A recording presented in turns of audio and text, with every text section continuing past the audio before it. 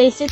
Aa meel iiga soo baxeen. Luuqa afkay i qabteen. Ku ijiiday mid afka meel jajaba ila galeen. Meeshii nimankii mataqaanaa markii lay dhahay. Nimankii waa aqido ilaa iyo waa sheegay. Ninkaas kan waa ku jira kan waa ku jira nimankii mar alle markaan sheegay waa la sii daayay. Nimankii anigana qof micnaha oo maanta aniga xaquuqdayda u dooday ma jirto waxaa arkay isbitaalka markaan ka soo baxay. Uuraa leedahay in lay dhahay. Mashaakil weyna igu sii noqotay. Anigii wixii ona xalaalna ii aheen wixii mashaakila igu noqdeen asalaamu calaykum waraxmatullaahi tacaala wabarakaatuhu dhammaan akhyaartaa sharafta leh. Meel kastoo aad ka joogtaan dunida waxaan hawada idiin soo marinayaa salaan midda ugu qiimaha badan oo ah assalaamu calaykum waraxmatullaahi wabarakaatu markii intaasi laga imaado maanta waxaan halkan aan u fadhiyaa in aan ka hadlo arrin mataqaanay aada iga murjisay qof kastoo soomaaliyada arkana oo aada mataqaana laftiisa. Uu oga yaabayo oga naxayo markaad aragto dadka qaar kolley dareenkooda iyo qaabka u fikiraan ma ma garan karno waad la yaabaysaa. Arrintaasi oo mataqaanay ah in hooyo soomaaliyeed oo haddana mataqaanay iska danyar ah in sagaal nin inta iskugu tagaan mataqaana ay kufsadaan.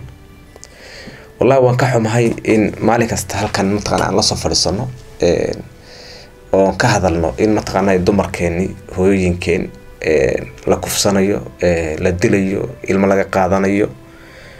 Marka dhaawac weyn mataqaanata noo geysanaysaa inaga ka nafsi ahaan waxa mataqaana loo dulqaadan karana ma aha. Markii aad aragto haddii hooyo soomaaliyeed oo dulman kolley qiimaha ay leedahay hooyadu waxaa garanayo qofkii lagu soo barbaariyey guri ay qiimo ay ka leedahay hooyadu.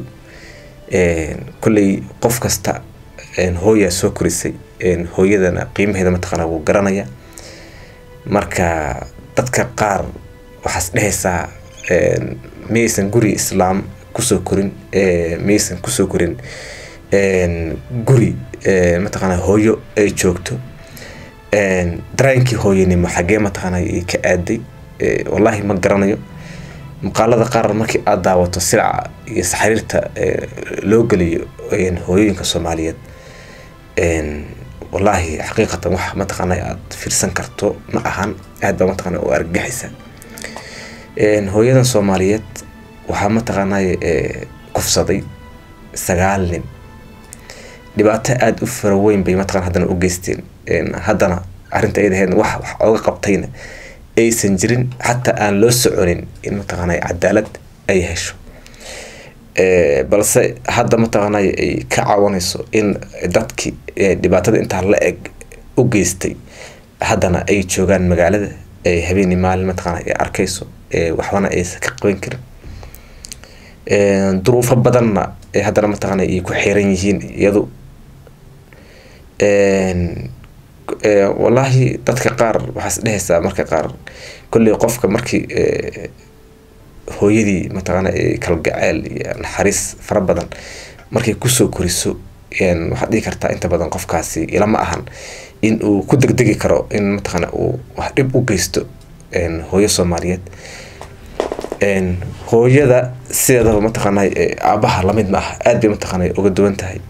Dareen ahaan iyo mataqaana qofka waxaa la rabaa markii uu hooyo markii la dhaho hooyo markii la dhaho in wadnaha dhig dhaho. Jacayl iyo mataqaana uu ka qabo keli. Marka adigoo jacaylka intaa la eg ka qaba hooyada markii hooyo keli mataqana isku naxayso dhib baa loo geystay markaad maqasho marka haddana intee la eg baa mataqana dareemi kartaa marka. Waxaad ka soo qaadaa hooyadii adiga ku dhashay ku soo barbaarisay naas ku soo nuujisay oo maanta intaan ani iyo laba kale intaan utagna aan kufsano intee maxaad dareemi kartaa? Intee in la eg baa mataqaana adiga aad dareemi kartaa? Qof damiirla haddii aad tahay marka uu sokayso haddii aadan dadka iyaga ah aadan wax ka qaban karin adiga isdilayo maxaad u malaysaa marka markii adiga aada hooyo soomaaliyeed aad dhibaato aada u geysanaysa marka. Hooyadan waxay la mid tahay hooyada waa isku mid. Waxyaabaha aan la yaabo maamada ama hooyadan soomaliya ka sheekeysay wallahi qof kasta oo dareen leh soomaalinimo waa aad ba mataqaanayo oo argagaxaya. Bal wax yar muuqaalkeeda in yar yala yara fiirso. Niman masaajid imaaday jidka igu arkeen anigoo markaas lay heesto nimankiia ilaahay ii sirbeebay nimankiia nimankii iga reebay anigoo matoorey lii heesto oo dabada xataa ay wax iga gaarsiiyeen ilaa iyo lix sac muddo saacadood. Anigoo sidii saas ay tahay waxaan ogahay markii miirkii igu dambaysay mar alle markii dadkii oo masaajidka ka soo baxay iga celin rabeen mid intuu soo booday maskaxdayda markaas waa awooddayda markaas waa joogtay maskaxdaydan markaas miirka waa ii joogay. Markaas baan waxaan arkay feer nin igu sii dhuftay ku kale igu sii celiyey iligii waa igu tagay anigoo meeshii ku dhiig baxaayo. Markii dambe hoos gudaha dhiig iga socdo keliyaha ilaa iyo dabada hoos.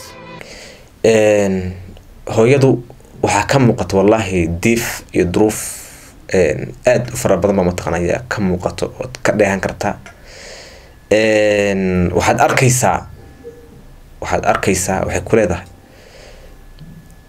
Markii nimankii mataqana laga soo badbaadiyey waxaa mataqana isku arkay in kaada heystii mataqana ay go-day oo aysa kaadada mataqana aysa ceshan karin iska saxarada kaada iska socoto. Bambaasa mataqana markasta mataqanaya u xiran aysa heli karin hataa lacagtii ay ku bixin lahayd miskiin ilahay baa mataqana saacidi karo. Waxay ku leedahay ilmaha xataa wax aan siiyo ma hayo. Maxaa yeelay marka qaar aniga inuugayaan aniga waxba aan haysanin. Markaasaan suuxayaa marka. Markaan soo kacana wax aan haddana aan cabo ama aan cuna ma haysto. Wallaahi duruufta iyada ah yaa mataqanaa qofkaas isaga ah hooyada ku geedaaman qof kastana markuu arka mataqanaa aad buu mataqana arrinta iyadii oga naxayaa oo dareen soomaalinimo muslimnimo mataqana ay ku jirto. Kufsigana dalkeena hadda waxaad arkaysaa in shay iska caadi ah in uu ka soo noqonayo. Wallaahi wax aan aad oga xumaanayna weye. Laakiin wax hadda anaga aan gacan aan ku qaban karna ma ahan maadaama hadda meesha dowlad mataqaana ay ka jirto iyadoona mataqaana ay xukunto. La doonayana dadkaasoo kale in aan qabiil aan lagu difaacin eh ee qarnimo in looga hortago. Cadaaladana mataqaana la hor keeno maalin kasto in hooyo soomaaliyeed mataqaana laga dhawaajiyo wax aada u foolxun weye dareenka bili-aadanimada mataqaana ku diiday arrinta iyada ah marka hay'adaha garsoorka waxaan ka codsanaynaa in arrinta iyada ah ay wax ka qabtaan oo dadka iyada ah mataqaana dadka dhibkaa sameeyey ciqaabtooda mataqaana la mariyo. Gabadhana daryeelkeeda mataqaana loo sameeyo waxa ay ka codsatay dadka soomaaliyeed daafaha dunida ku nool in duruufahan haysto in mataqaana wax badan ay kala qabtaan. Haddii ay noqon lahayd dhan haddii ay noqon lahayd gargaar bini-aadanimo oo waxaada ugu daran horta waa waxay cun lahayd iyo isbitaal in ay dawo mataqaana ay hesho xal loo helo arrintan iyada ah haddii dhakhtar fiican ay hesho waxba maa laga qaban karaa. Marka dadka soomaaliyeedna kolley nambarkeeda iyadaa mataqaana afkeeda ay ka sheegayso.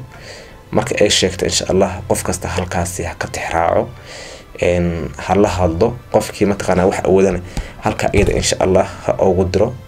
Ilaahay mataqaana miisaanka xasanaadka ha u kordhiyo. Daawadayaal waxaa intaasi aan ku soo koobayaa barnaamijkan dareenkiisa xumbaarsan qiirada mataqaana ka buuxdo. Ma hadli karo maxaa yeelay markii aad aragto hooyo soomaaliyeed silacsan dareenkaada mataqaana wuu isbedelayaa taasi ay u keentay marka in hadalkii xataa uu si fiican mataqaana iga soo bixi waayo. Haddii aad codkayga aad si fiican ama si saami ah aada u maqli weydeen waan idinka raaligelinaya intaan barnaamijkan mid lama kulmino nabadgel